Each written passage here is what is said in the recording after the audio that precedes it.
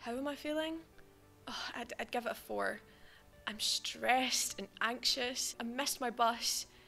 And we have that very important meeting with the stakeholders at the office. I spent months preparing for it. And I'm just, I'm not sure if I did the right thing and if I'm touching all the points they want me to.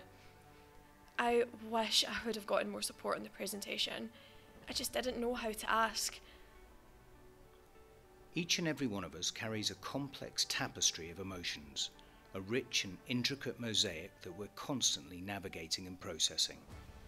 The YU app, with its powerful insights, is uniquely designed to assist you in comprehending and nurturing the emotional landscape within your teams and organisation.